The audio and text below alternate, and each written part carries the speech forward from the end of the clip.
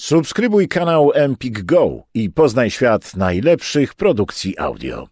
Wydawnictwo Albatros zaprasza do wysłuchania książki Jimmy'ego Burnsa zatytułowanej Maradona – Ręka Boga. Z angielskiego przełożyli Jerzy Łoziński i Robert Waliś. Czyta Maciej Jabłoński. To Bóg sprawia, że tak dobrze gram. I dlatego zawsze się żegnam przed wejściem na boisko – Gdybym tego nie zrobił, poczułbym, że go zdradzam.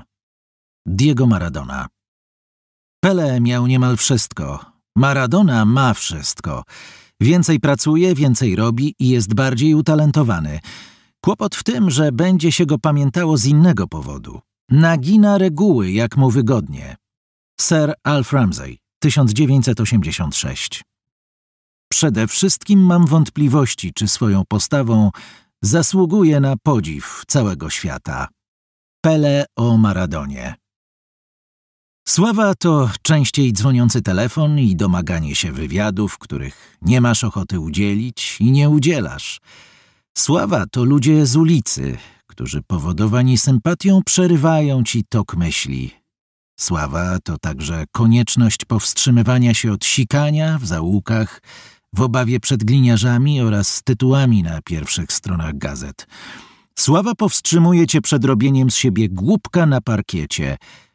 Sława to niemożność anonimowego urżnięcia się w pierwszym lepszym barze, a więc i ukojenia obsesyjnej melancholii w noc prawdy.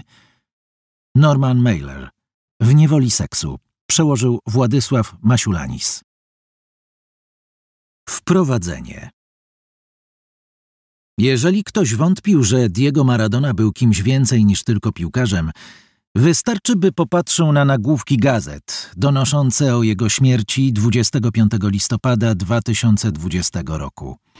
Zarówno francuskie L'Equipe, które oznajmiało Le Dieu est mort, umarł Bóg, jak i argentyńskie Olé, gdzie napisano nieśmiertelność od 1960 do nieskończoności, przypominają nam, że mieliśmy do czynienia nie tylko z piłkarskim geniuszem, ale też z prawdziwą ikoną i legendą.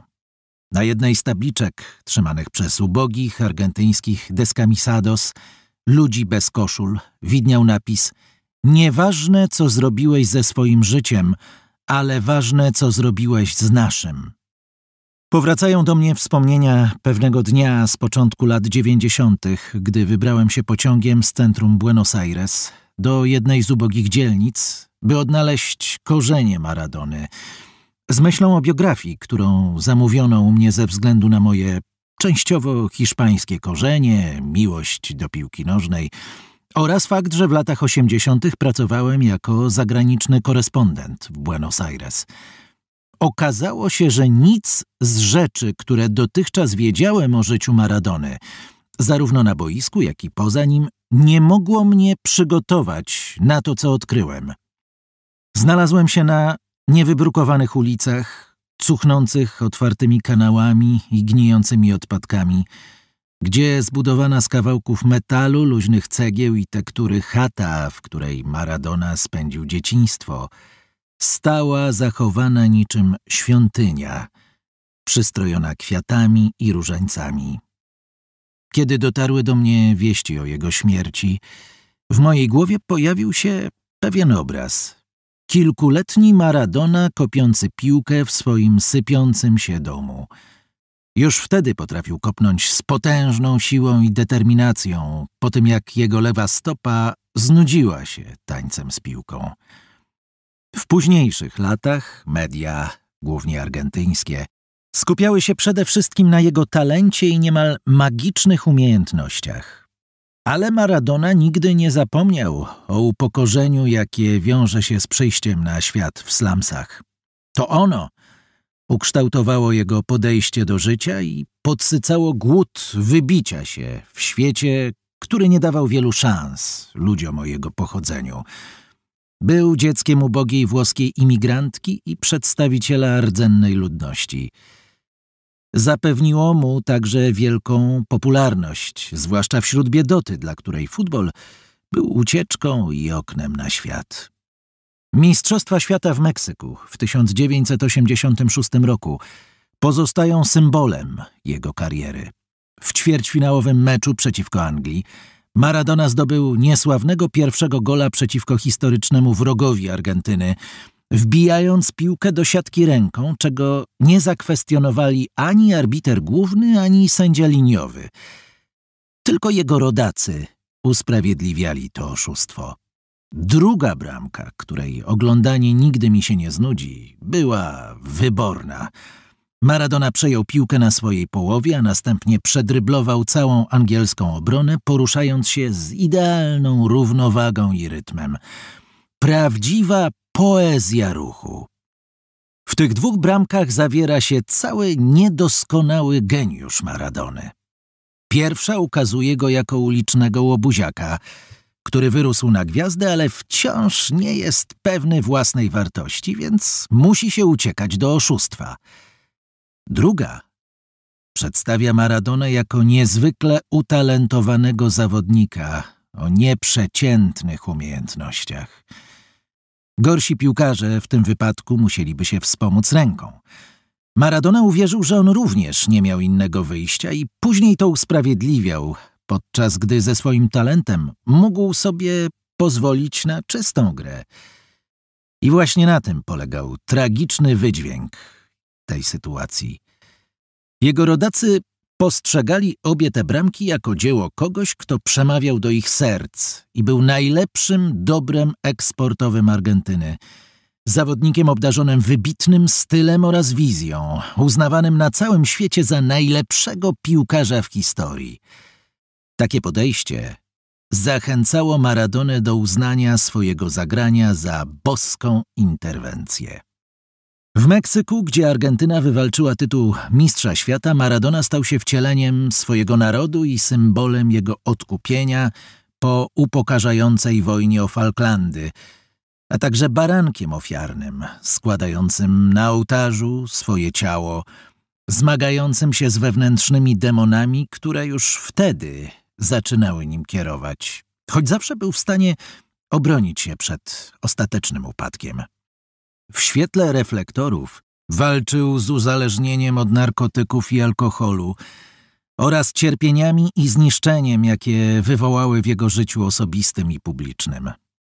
Ostatnie dziesięć lat życia Maradony, opisane w tej książce, to ostateczne rozliczenie z moim pozornie nie mającym końca biograficznym spotkaniem z tym piłkarzem – te lata uwypukliły jego postępujący upadek i to, w jaki sposób roztrwonił otrzymany od Boga talent za sprawą narkotycznych ekscesów i rodzinnych zawirowań, pośród których pojawiały się tylko przebłyski odkupienia. Życie Diego Maradony obrosło mitami i niedopowiedzeniami, co być może stanowi odzwierciedlenie argentyńskiej duszy – od zawsze szukającej Zbawiciela, który wydobędzie ją z politycznego i gospodarczego bagna, ale zarazem świadczy o dziedzictwie, które w czasach zagubienia i niepewności, uzdrowienia i nadziei przekracza narodowe granice. Maradona był tragicznym geniuszem, a jednocześnie człowiekiem z krwi i kości. Urodził się w biedzie i dzielnie walczył z przeciwnościami losu. Został najlepszym piłkarzem na świecie i dał swoim kibicom mnóstwo radości. Obdarzał innych cierpieniem i miłością. Buntował się przeciwko potężnym i nieczułym, jednocześnie przemawiając do ubogich i doświadczonych przez los. Oto opowieść o chłopaku, który był urodzonym talentem piłkarskim, uwierzył, że jest Bogiem i musiał to odpokutować. Pierwsze 36 lat życia Diego Maradony 1960-1996 to czas, gdy futbol z popularnej rozrywki stał się sportem światowym. Być może głównym, a nacisk mediów i reklamy na piłkarzy, fanów i działaczy klubowych stał się tak wielki, że 30 lat wcześniej nikomu by to nawet nie przyszło do głowy. Głosząc wszem wobec, że urodził się, aby grać dla ludzi, Maradona w istocie stał się ważnym trybikiem w produkującej pieniądze maszynie, którą Napędzają transfery, prawa do transmisji, sponsorzy i reklama. Za szczęście uważam to, że niewiele rozrywek było dla mnie przyjemniejszych od gry w piłkę w lecie na hiszpańskiej plaży, czy od przyłączenia się do weekendowej angielskiej kopaniny. Uwielbiam ekscytować się grą, siedząc z rodziną i przyjaciółmi na trybunach No Camp, Wembley czy La Bombonery – w połowie jestem Hiszpanem, w połowie Anglikiem, na dodatek z domieszką włoskiej krwi, dlatego mogę całkiem szczerze jednego dnia kibicować Newcastle i Barcelonie, drugiego Milanowi i Boca Juniors. Wierzę w instynktowną uniwersalność futbolu. Urodziłem się w Hiszpanii, ale ukształtowały mnie kultura europejska i południowoamerykańska. Maradona musiał więc mnie urzec. Tego piłkarza nie zrozumie ktoś, kto nie widział go grającego, kto nie obserwował jego, jak się zdawało, niezliczonych sztuczek, nie doznał charyzmy jego osobowości, kto nie widział, jak zachwyca zwolenników i doprowadza do wściekłości przeciwników. Choć poczynania Maradony na boisku prawdopodobnie zostały przez dziennikarzy sportowych opisane dokładniej niż wyczyny jakiegokolwiek innego ze współczesnych sportowców – to gdy usiłuje się opisać po angielsku pewne istotne detale, natrafia się na nieprzekraczalne granice. Mimo, że wybrałem kilka meczów, aby na ich przykładzie zilustrować piłkarski talent Maradony, nie jest to książka o zdobywcy goli. Pisząc o Maradonie, chciałem przede wszystkim zgłębić pewien fenomen społeczny, polityczny i religijny.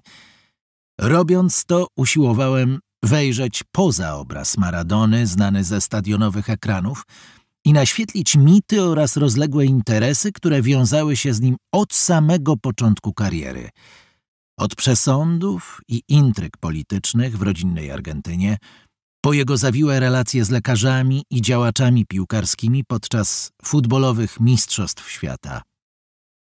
Przygotowanie tej książki wymagało nie tylko podróży i badań, niekiedy związanych z pewnym ryzykiem, ale także współpracy wielu ludzi pomagających mi spenetrować tajemny, oparty na samooszustwie i propagandowych efektach świat, którym Diego Maradona pozwolił się obudować. Jemu osobiście czuję się bardziej wdzięczny, niż byłbym to sobie w stanie wyobrazić w 1982 roku, gdy po raz pierwszy zobaczyłem go grającego, kiepsko, z Rosjanami, a nasze kraje, Argentyna i Wielka Brytania, toczyły wojnę o Falklandy. Nagle nad stadionem River Plate przeleciał okrzyk Kto nie skacze, jest Anglikiem. I wszyscy zaczęli podskakiwać. Poczułem się wtedy pewnie tak jak mój ojciec, gdy w czasie II wojny światowej wypełniał w Madrycie tajną misję dyplomatyczną i podczas walki byków niespodziewanie odegrano niemiecki hymn.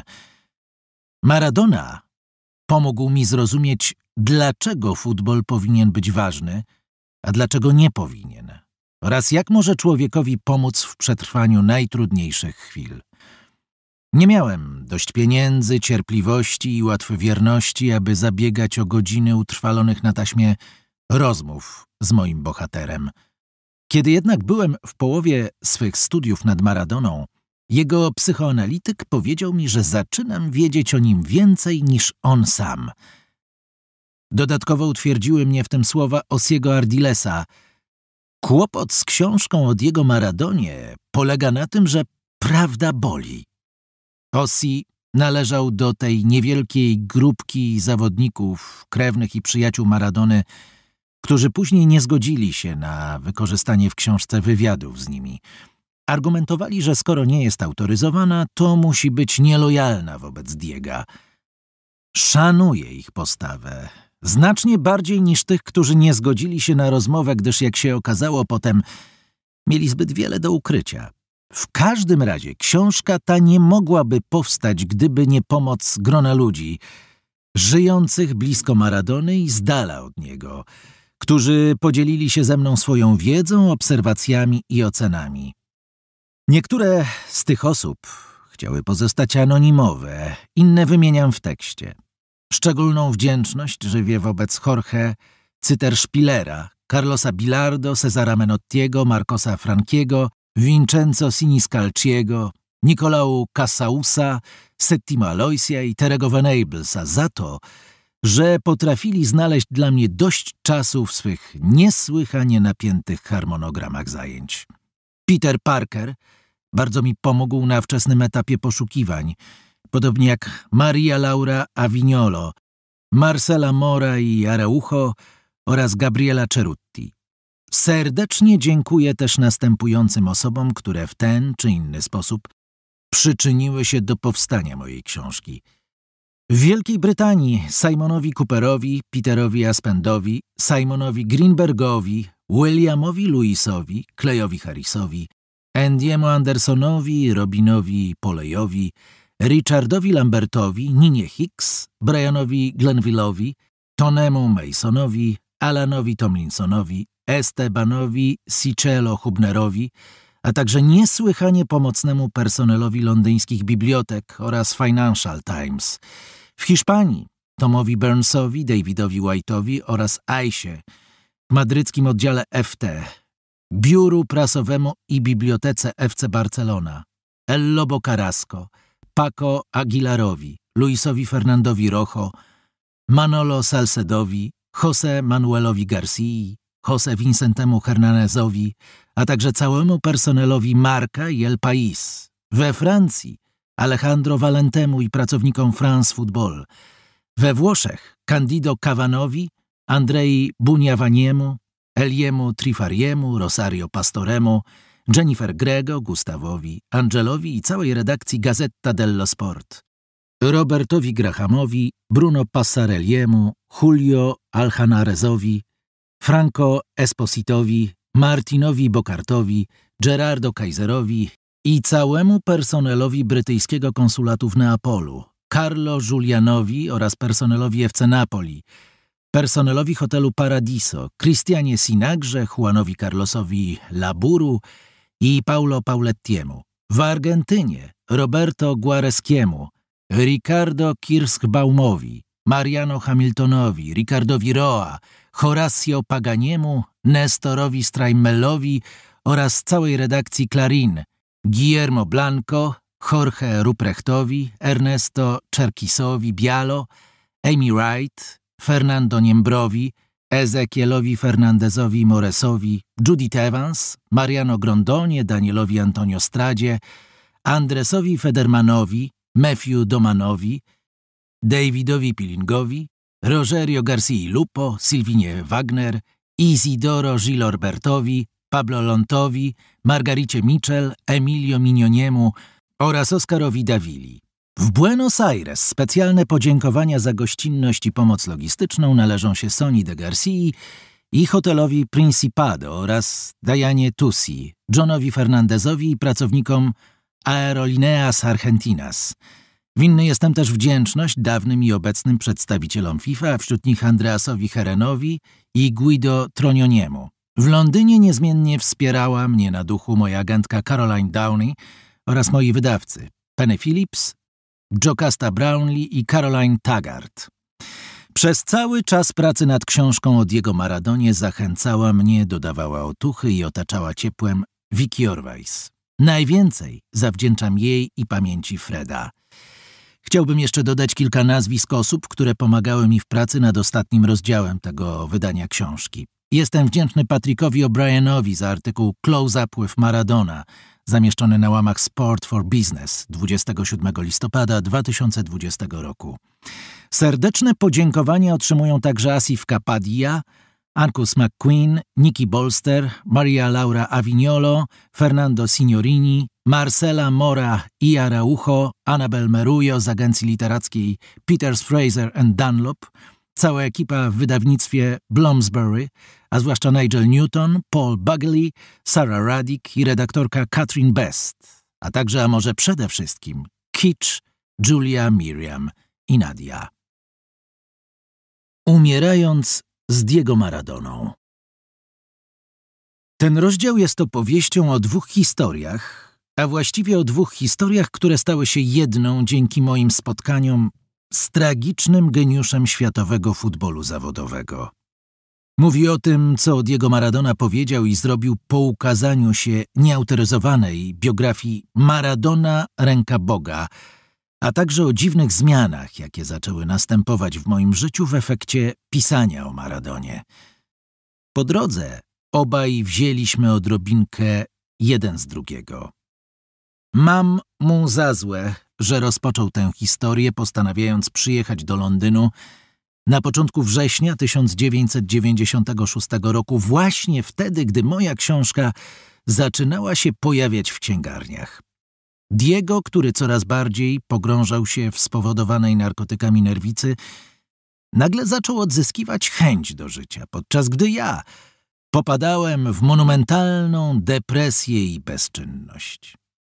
W przeddzień przylotu Maradony do stolicy Wielkiej Brytanii ktoś dzwoni do mnie z Buenos Aires, aby puścić mi nagrany na taśmie radiowy wywiad, którego Diego udzielił przed wyjazdem. Jest pełen werwy. Razem z żoną Klaudią robią kolejne podejście do pierwszego syna. Mam nadzieję, że tym razem moje plemniki znajdą sobie drogę – Oznajmia młodemu argentyńskiemu reporterowi, z którym spożywa w swoim mieszkaniu makaron i sałatkę pomidorową. Kilka tygodni wcześniej opuścił Boca Juniors. Nie strzelił kilkunastu karnych, powszechnie się mówi o jego problemach z narkotykami. Może nie strzelam już tylu goli, co kiedyś, zdaje się mówić, ale pieprzyć i robić dzieci wciąż potrafię. W 1986 roku po meczu z Anglią Maradona podziękuje Bogu za bramkę strzeloną ręką. Kiedy pudłował przy dyktowanych dla Boka karnych, winą obarczał piekło. To czarownice sprzysięgły się przeciw mnie, tłumaczył miejscowym gazetom. Obawiam się, że i na mnie ciąży klątwa. Moja gwiazda spadła z nieba i rozprysła się. Zostałem wychowany przez jezuitów, ale nawet oni – nie przygotowali mnie wystarczająco na Diega. Kiedy myślę, że zobaczyłem już ostatni rozdział jego życia, Diego oznajmia, że przyjeżdża do Londynu, aby uświetnić międzynarodowe rozgrywki drużyn szkolnych sponsorowane przez Eurosport i Pumę. Anglicy mogą mu dalej pamiętać tę sztuczkę z ręką, ale on zawsze myśli o nich z szacunkiem. Zresztą, czyż rok wcześniej nie został entuzjastycznie powitany w Oksfordzie, gdzie otrzymał honorowy tytuł inspiratora marzeń? Popadam nie tylko w depresję, ale też w przerażenie. Nie wierzę, że Diego przyjeżdża do Londynu jedynie po to, aby pokopać sobie piłkę z gromadką dzieciaków w parku Battersea. Wkrótce po jego wywiadzie w argentyńskim radiu budzę się w nocy zlany potem. Śniło mi się, że Diego gonił mnie po Trafalgar Square, otoczony armią prawników w garniturach i goryli z futerałami na skrzypce. Mijał właśnie mniej więcej rok, od czasu, gdy pojawiłem się w najpopularniejszym argentyńskim talk show w towarzystwie menedżera Maradony, Guillermo Coppoli oraz byłego trenera argentyńskiej reprezentacji Carlosa Bilardo i oznajmiłem, że przygotowuję książkę o życiu i czasach Maradony. I teraz ta czcza przechwałka Miała się na mnie zemścić. Wyobrażałem sobie, że Diego wybiera się do Londynu, aby mnie zniszczyć psychicznie, fizycznie i prawnie. Wtedy przypomniała mi się rada mojej nieżyjącej już babki Hiszpanki. Jeśli grozi ci atak, najlepiej go uprzeć. W obstawie dwóch agresywnych kobiet późnym sobotnim wieczorem zjawiam się z egzemplarzem mojej książki w restauracji San Lorenzo w Knightsbridge, nieopodal Harrodsa, w której Diego miał jeść kolację. Jeśli człowiek nie jest dziennikarzem albo przypadkiem autorem książki o Diego Maradonie, do San Lorenzo może wejść tylko wtedy, jeśli ma pieniądze albo arystokratyczny tytuł. Diego lubił tam przebywać, aby pokazać, że nie ma na świecie miejsca, do którego nie miałby wstępu. Brakowało mu błękitnej krwi, ale nędzę przedmieścia dawno już zostawił za sobą. Siedzi przy stole z Coppolą, swoim menadżerem, i Wialim. Grający w Chelsea Włoch jest milczący i trzeźwy. Nazajutrz ma mecz na stadionie Stamford Bridge, ale Diego popija – a może bierze też coś jeszcze, żeby poprawić sobie humor. Wygląda na to, że nie zauważa ani mnie, ani towarzyszących mi kobiet. Chyba nawet nie pamięta, że się poznaliśmy, że prześledziłem całą jego drogę z Buenos Aires do Oksfordu via Neapol, Barcelona i Paryż i że napisałem o nim książkę. Zdaję sobie sprawę, że Diego znajduje się w takim stanie, że może albo rozbić kieliszek, rzucić we mnie butelką czy przewrócić stół, albo nic nie zrobić. Wręczam mu książkę takim gestem, jakbym w rosyjskiej ruletce podawał przeciwnikowi pistolet. Wolałbym jednak wierzyć, że wręczam mu część jego duszy. Na wewnętrznej stronie okładki widnieje dedykacja dla Diega. Życie, jak je pojąłem. Chciałem wyrazić w tych słowach tyle, że jest to biografia krytyczna, ale prawdziwa. Kiedyś jednak Osi Ardiles, rozmawiając ze mną o Maradonie, powiedział Prawda boli. Diego bierze książkę jak przedtem menu, spogląda na dedykację, a potem przewraca stronę z miną człowieka, który nie ma ani nastroju, ani chęci, aby się w cokolwiek wczytywać. Zatrzymuje się tylko przy fotografiach, zaśmiewając się jak niegrzeczny chłopiec, zwłaszcza przy tej, na której w 1986 roku pozuje z całą rodziną Giuliano, kierującą neapolitańską kamorą. Jeśli i ja, jak dotąd, powiedziałem jedynie Cześć Diego, to moja książka o tobie, to dlatego, że miejsce trwogi zajęła fascynacja. Czekam na jego reakcję. Nie odzywa się ani słowem. I dopiero teraz dociera do mnie, że być może jednak mnie rozpoznał, kiedy wchodziłem. Nie zamierza mi ani dziękować, ani przylać. Postanowił mnie zignorować. Przyjął pistolet, wystrzelił i teraz siedzi cały i zdrowy przy kolacji w San Lorenzo. Kiedy zamyka książkę i przesuwają po stole do Kopoli, grupka kelnerów podchodzi i prosi po włosku o autograf. W ślad za nimi zjawia się kierownik restauracji i obejmuje Diega niczym dawno niewidzianego brata. Wygląda na to, że teraz wszyscy w lokalu spoglądają tylko na niego. San Lorenzo przypomina mi w tym momencie ojca chrzestnego i Włochów całujących się w rytuale plemiennej zgody. Diego, ty synu, myślę w duchu. Przez cały rok nie dosypiałem i nie dojadałem, żeby dojść do tego, co ukrywałeś przez całe życie, a ty teraz nie masz mi nawet słowa do powiedzenia. Tylko osoby siedzące przy jednym stoliku przyglądają się tej sytuacji z niejakim zdziwieniem. Mężczyźni i kobiety, w których żyłach płynie niebieska krew, wszyscy uczęszczali do prywatnych szkół i odziedziczyli bogactwo. Lubią strzelać, polować i grać w polo. Przestali kupować u Harrodsa, kiedy przejęli go Arabowie, niemniej jednak San Lorenzo nadal mieści się w ich świecie.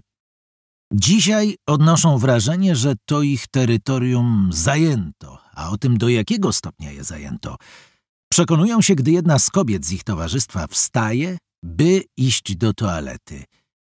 Wysoka blondynka z zadbaną różową cerą, trochę podobna do Lady D. Diego na pół nosi się z krzesła i głośno zaprasza ją po hiszpańsku do swego stolika. Towarzysz kobiety podrywa się gniewnie i odpowiada po angielsku.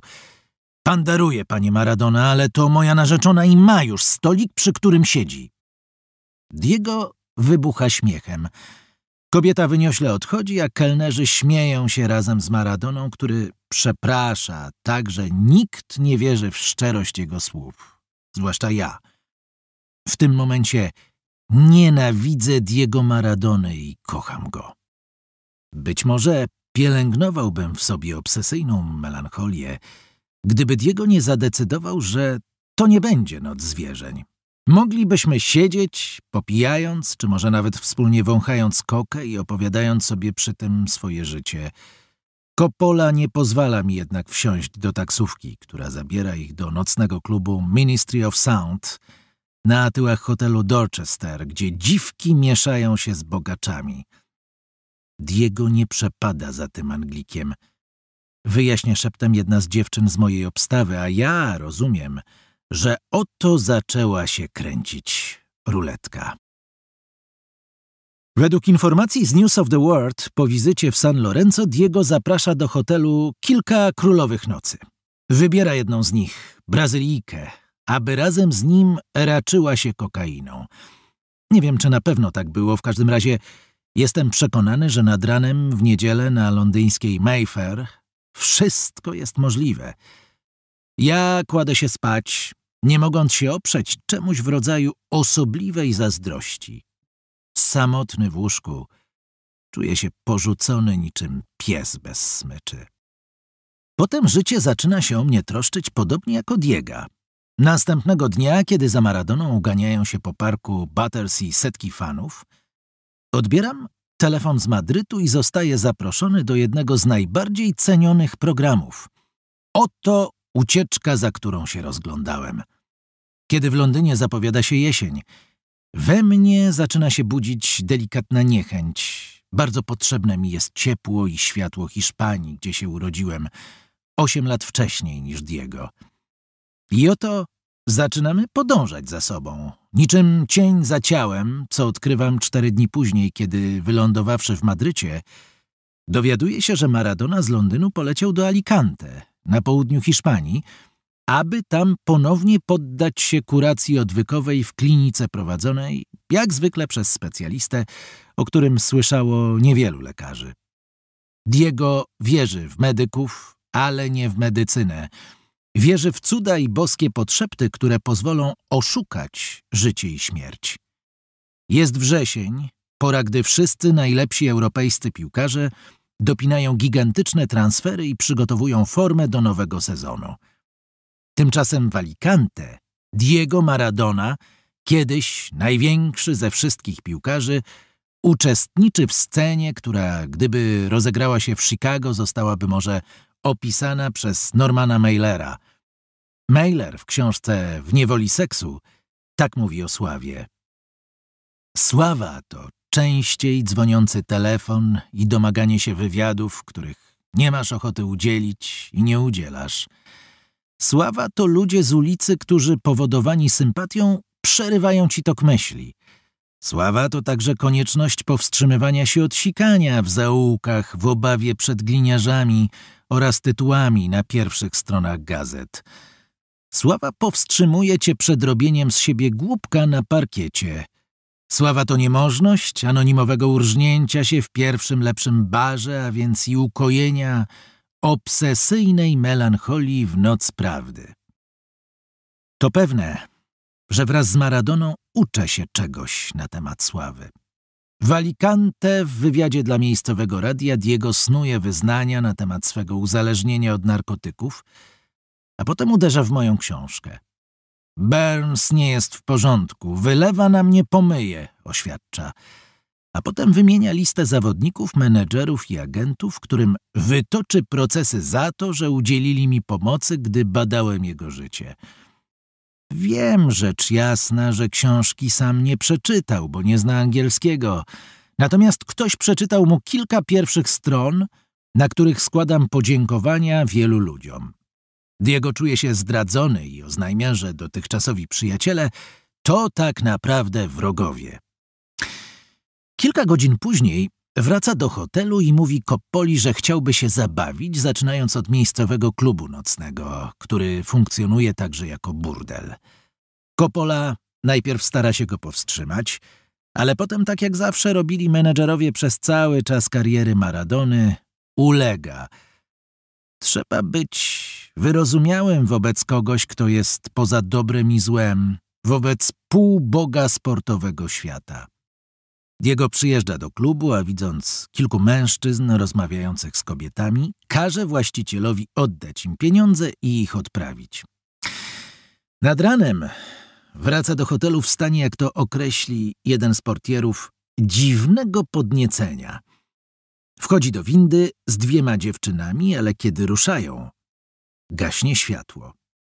Wiem, co to klaustrofobia i ataki paniki. Rozumiem więc coś z uczuć Diega, jednak to, co następuje potem, wyraźnie dowodzi, że jeszcze trochę brakuje do tego, aby nasze żywoty pokryły się całkowicie. Dla Maradony to doświadczenie z windą nie jest tylko chwilą strachu i osaczenia. Staje się podróżą do piekła i z powrotem, jaką już przeżył. Dławiące poczucie uwięzienia w straszliwej ciemności bez wyjścia, jak wtedy, gdy jako dziecko wpadł do otwartego kanału i zaczął się topić w zbiorowym szambie, zanim wyratował go wuj Cirilo. Teraz w Alicante Diego zachowuje się jak dzikie zwierzę w głuszy, pojmane i zamknięte w klatce. Kopie, aż stopy zaczynają krwawić. Ciska się, aż cały zlany jest potem. Walczy z nienawistnym wrogiem, którego zawsze czuł obok siebie i w sobie. Kierownik hotelu pozna konsekwencje jego gniewu, kiedy z pomocą przyjdzie straż pożarna. Diego rozbija i niszczy wszystko, co stanie mu na drodze. Stoły, krzesła, bez różnicy. Zabieraj się stąd, gówno warta ta twoja praca! Wrzeszczy agenta ubezpieczeniowego, który zjawia się, aby oszacować straty. Do incydentu w Alicante dochodzi dokładnie rok po tym, jak triumfalnie wrócił do dawnego klubu Boca Juniors, kiedy skończyło się jego 15-miesięczne zawieszenie, bo podczas Mistrzostw Świata w USA test antydopingowy dał wynik pozytywny. Jest tu coś z déjà vu. Życie Maradony przypomina jazdę na rollercoasterze – Wzloty na szczyty sławy i upadki na dno hańby. My wszyscy, którzy przez lata śledziliśmy jego karierę, nie ogłaszamy pospiesznie, że jest już na zawsze skończony, ani że ostatecznie zwyciężył. Ale nawet najbliżsi przyjaciele Maradony szeptem mówią prywatnie to, co boją się wyznać publicznie. Jeśli Diego dalej tak będzie postępował, to długo nie pożyje.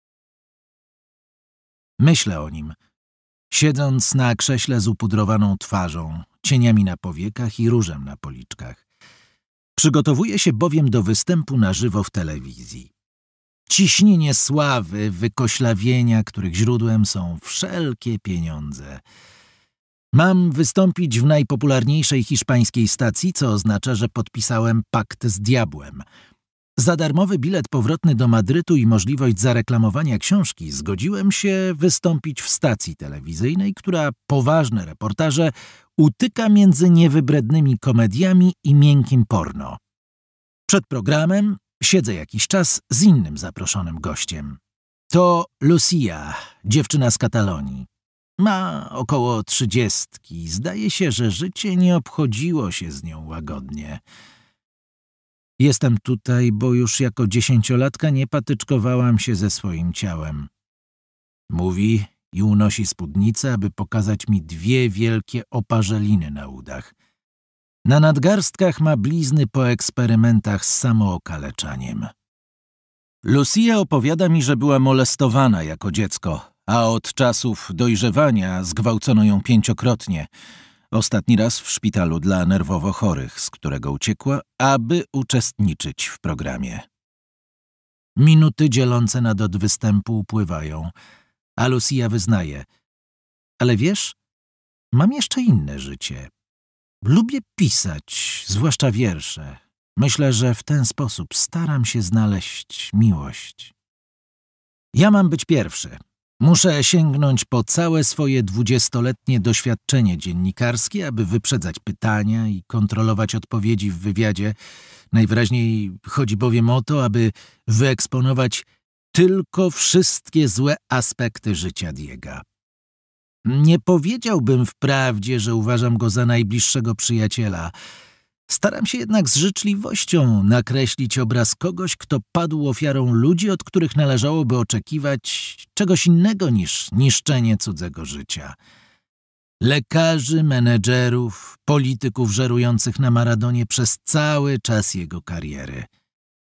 Prezenter stara się wymusić na mnie ostateczną estokada, pchnięcie zadane geniuszowi, być może śmiertelnie rannemu – ja jednak chcę zakończyć wywiad pojednawczym gestem. Wielka szkoda, że Diego zaatakował książkę, wcześniej jej nie przeczytawszy. Moglibyśmy wtedy zasiąść przy drinku i spokojnie sobie porozmawiać. Mówię, zanim przed kamerami stanie Lucia. Biedna dziewczyna. Żadnego doświadczenia dziennikarskiego. Ofiara brutalnie poturbowana przez życie. Obrazy jej poharatanego ciała na milionach ekranów telewizyjnych, podczas gdy ona stara się wyjaśnić, dlaczego robi to, co robi. Wieczorem okazuje się, że stacja telewizyjna wynajęła nam pokoje w tym samym luksusowym hotelu w centrum Madrytu. Recepcjonistka jest pewna, że zabrałem Lucię z ulicy. Rzuca mi więc konspiracyjne spojrzenie, gdy prosimy o osobne pokoje.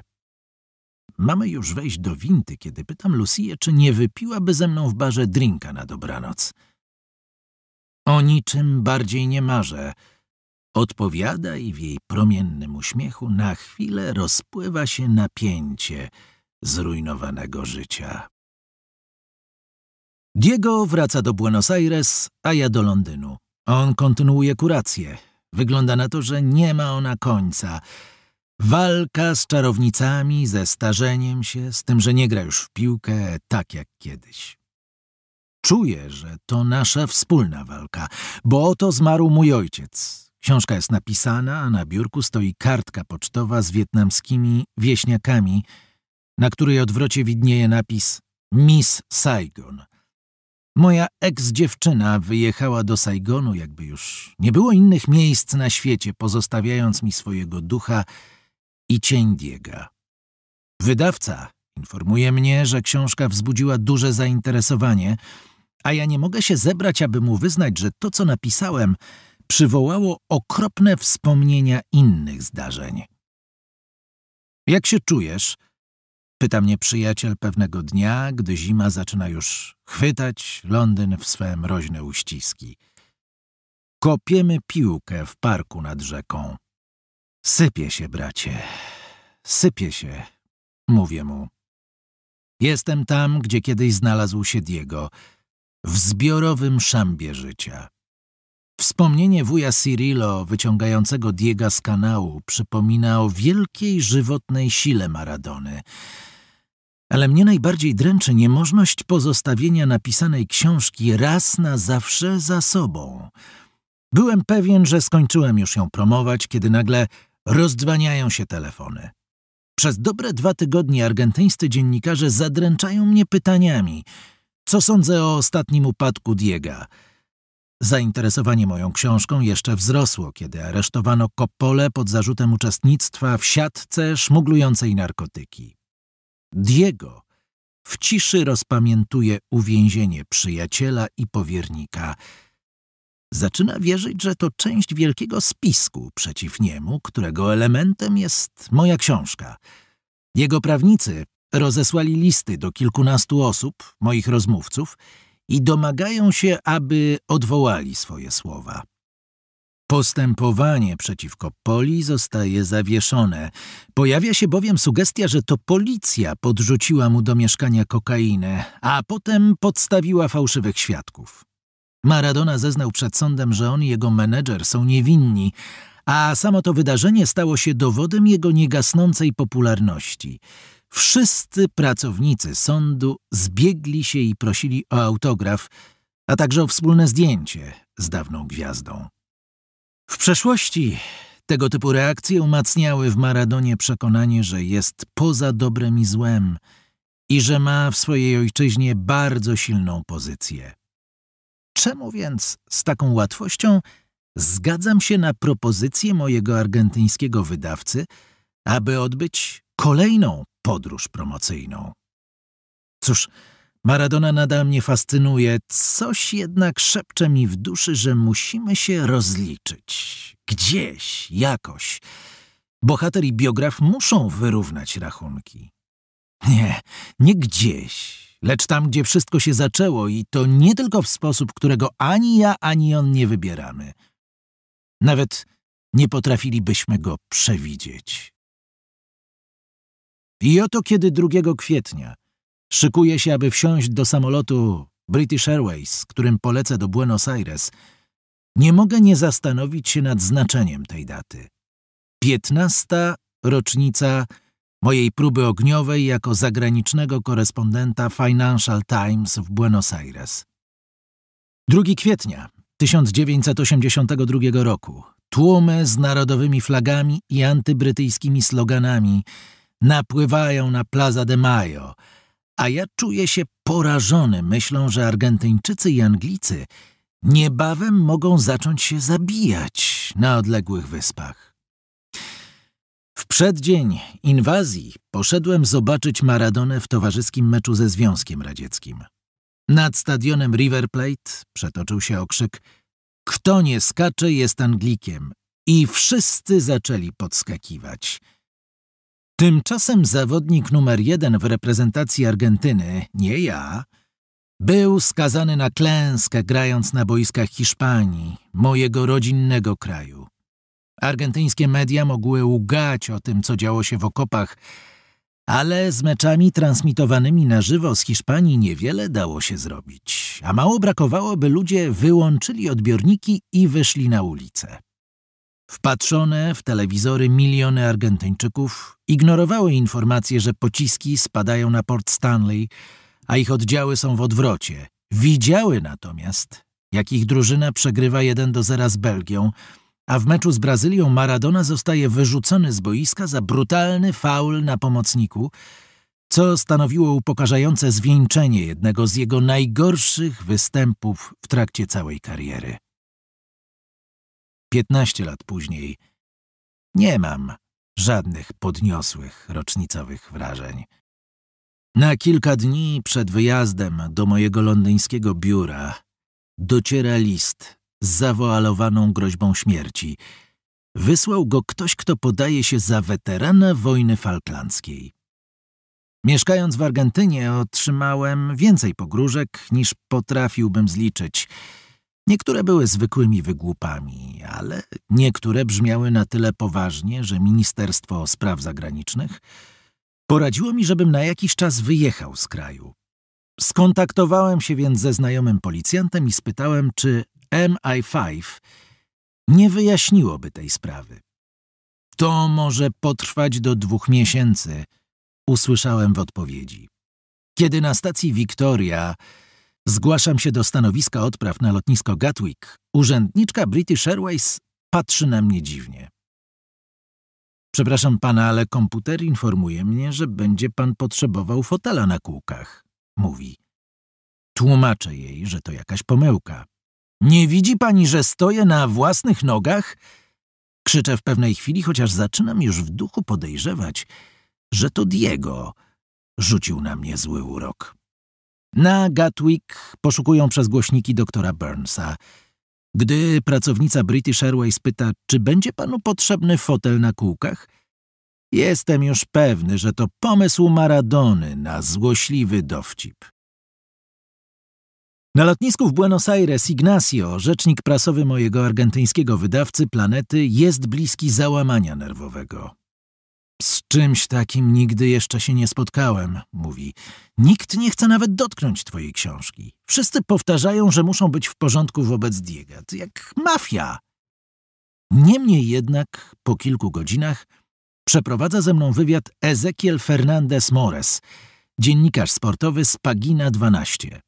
Ezekiel ma za sobą ciężkie dni, bo i on opublikował nieautoryzowaną biografię, opowieść o innym argentyńskim bohaterze, Oscarze Bonavenie, który był bokserem zastrzelonym w burdelu w Las Vegas. Nie mamy jednak pojęcia, co nas czeka. Popijamy sobie kawę w holu mojego hotelu, kiedy spostrzegam Carlosa Bilardo, byłego trenera reprezentacji argentyńskiej. Niektórzy z angielskich kibiców mogą pamiętać, że twarde i realistyczne podejście do futbolu dozwolone jest wszystko, co zapewnia zwycięstwo. Bilardo wyrobił sobie w czasach, gdy grał w Estudiantes, klubie, który w latach 60. zdobył Mistrzostwo Argentyny. W meczu z Manchesterem United Bilardo uderzył z byka Nobiego Stylesa, a jego kolega Carlos Pacame kopnął w piszczel Bobiego Charltona – nie mam jednak żadnych osobistych zastrzeżeń do Carlosa Bilardo, który poświęcił mi całą godzinę i przekazał kilka interesujących opinii na temat Mistrzostw Świata w Meksyku w roku 1986. To zdecydowanie nie spodobało się Maradonie i kazał swoim prawnikom wysłać list do Bilardo, a potem wszystkich innych osób, które udzielały mi informacji, z groźbą skierowania sprawy do sądu, jeśli nie poda do publicznej wiadomości, że nigdy ze mną nie rozmawiał.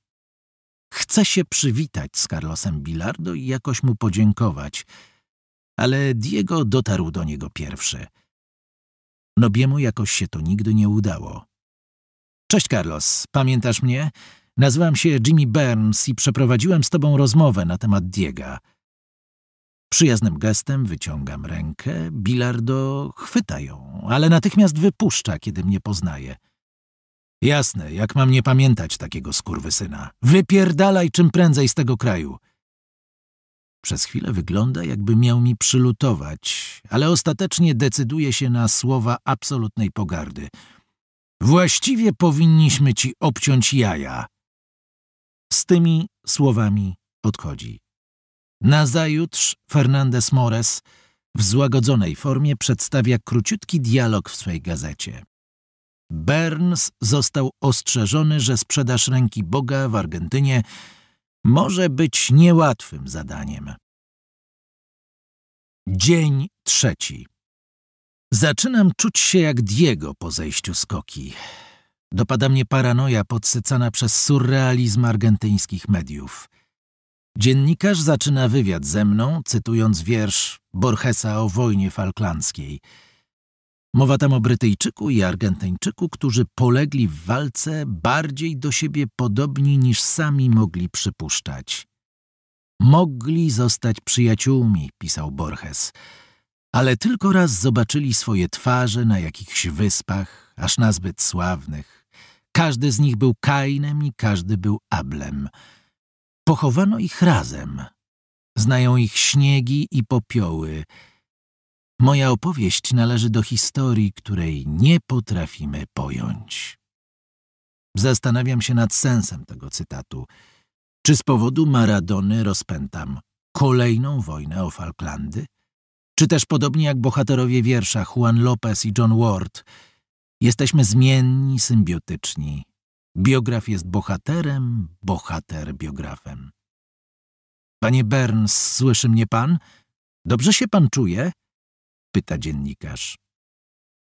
Przywaliłeś mi, sukinsynu, tak jak chciałeś. Pragnąłbym odpowiedzieć, ale mówię... Tak, tak, wszystko w porządku. Po prostu bardzo mnie te słowa poruszyły. Zaczynają dzwonić telefony od słuchaczy. Jakaś kobieta piskliwym głosem oznajmia Moim zdaniem ten Burns przyjechał po to tylko, aby nas ograbić z jedynej rzeczy, która do nas należy. Mężczyzna. Kawał z ciebie syna. Potem odzywa się Guillermo Coppola, menedżer Maradony, świeżo wypuszczony z pudła. Burns to książka składa się z samych kłamstw. Oznajmia radiowej publiczności w najlepszym czasie antenowym – czy czytał pan książkę? Pytam za pośrednictwem radia Koppole. Przyznaję, że nie czytał. Wieczorem jem kolację z kilkoma argentyńskimi przyjaciółmi, a rozmowa kręci się wokół potęgi mitu we współczesnej Argentynie. Tutaj ludzie nadal sądzą, że najważniejszym problemem politycznym jest to, czy Ewita zmarła jako dziewica, czy nie, mówi znajomy dziennikarz telewizyjny. Dzień czwarty. Maradona mdleje podczas programu telewizyjnego w Chile. Przedawkowanie? Atak serca? Nie, wszystko w porządku, uspokaja Coppola. Po prostu w studiu był zaduch. Ignacio znajduje kolejnych miejscowych dziennikarzy chętnych do rozmowy ze mną. Dzień piąty. Nagrywamy wywiad dla jednego z najpopularniejszych w Argentynie programów piłkarskich – Dziennikarz zadający pytania przyznaje, że większość moich odpowiedzi nie będzie mogła pójść. Dlaczego? pytam. Napisał pan książkę o polityce, narkotykach i mafii. To tutaj drażliwe tematy. Raczej nie nadamy tej audycji w obawie o reakcję Diega. Kolejny program z udziałem widzów. Prowadzi dawna modelka, teraz gwiazda telewizji. Moja książka leży przed nią świeżutka i najwyraźniej nawet nieotwarta. Futbol chyba śmiertelnie nudzi prezenterkę, ale za swój profesjonalny obowiązek uważa podjęcie tematu, który wzbudził lokalne zainteresowanie. Zjawia się menedżer Diego Coppola, poproszony o wydanie fachowej opinii i ponownie oskarża mnie o kłamstwo. Po nim odzywa się dawny księgowy Maradony, Marcos Franki, z którym w październiku 1995 roku przeprowadziłem wywiad. Teraz oskarża mnie, że całą rozmowę zmyśliłem. Spotykam się z Luisem Moreno Ocampo, prawnikiem, z którym zaprzyjaźniłem się podczas procesu o gwałcenie praw obywatelskich w trakcie wojny falklandzkiej, wytoczonego przedstawicielom wojskowej hunty. Wtedy zastępował prokuratora stanowego. Oznajmia, że z powodzeniem działa teraz w telewizji i proponuje, bym wraz z Frankiem wziął udział w jego programie. Ależ będę miał wskaźnik oglądalności, dodaje z lekkim sarkazmem. Program Luisa Moreno Ocampo nosi tytuł Forum. Uczestnicy mówią nawzajem o sobie co chcą, wcześniej na piśmie, rezygnując z kroków prawnych wobec przeciwników. W kraju, w którym udowodnienie oszczerstwa jest długie i kosztowne, wydaje mi się to kuszącą możliwością obrony mojej reputacji. Franki telefonicznie przyznaje, że przeprowadziłem z nim wywiad, ale nie zgadza się na udział w programie. Dzień szósty. Fotograf upiera się, żeby zrobić mi zdjęcie, kiedy balansuje z piłką na głowie niczym Maradona.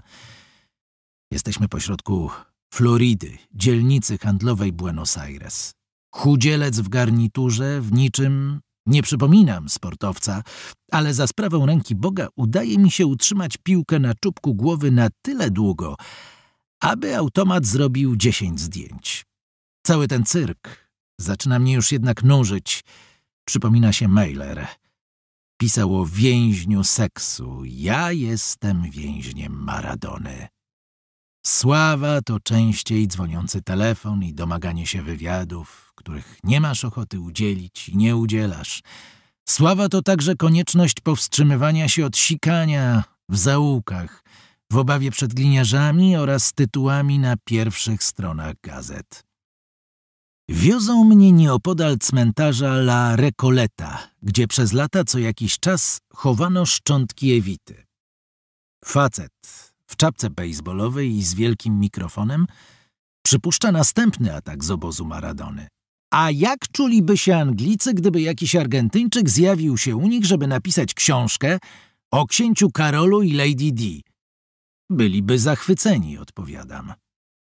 Dzień siódmy. Ostatni wieczór w Buenos Aires. Szybko zapominam, że rano czeka mnie jeszcze ostatni wywiad. Ktoś mógłby powiedzieć, że to typowy wieczór Diego Maradony. Wokół mnie muzyka, gorzała, kobiety, jointy, kreski koki głęboko wciąganej z piekła w światła miasta. Kilka osób ląduje wspólnie w pokoju hotelowym. Opróżnia minibarek, ogląda słońce wschodzące nad River Plate, a potem wywiad, tylko ja i mikrofon, cichy i groźny. Słowa mnie zawodzą. Nie potrafię wyrazić gniewu wobec świata, który się sprzysiągł przeciw mnie. Teść Maradony wzywa słuchaczy do bojkotu książki. Postscriptum. Pierwszy dzień w Londynie. W powietrzu wiosna, ale ja czuję się wyjałowiony. Kiedy do mojej znajomej mieszkającej w Anglii Argentynki dzwoni Coppola, ta pyta Giermo, czemu tak się przyczepiliście do Jimiego? Chodzi nam tylko o 30% z honorarium. I kiedy potem w jakiejś londyńskiej księgarni trzymam w ręce świeżo wydrukowany egzemplarz wydania w miękkiej oprawie, czuję, że jakaś jego część nie należy do mnie. Przypomniano mi, jak fascynująca jest gra i jakie są jej granice. Kochałem i nienawidziłem Diega. Zaczynam się wygrzebywać z gówna, w którym wylądowałem za sprawą ukochanej osoby. Zaczynam ostrożniej spoglądać na tych, dla których futbol stał się obsesją. Wyrzuciłem pocztówkę z Saigonu. Subskrybuj kanał Empik Go i poznaj świat najlepszych produkcji audio.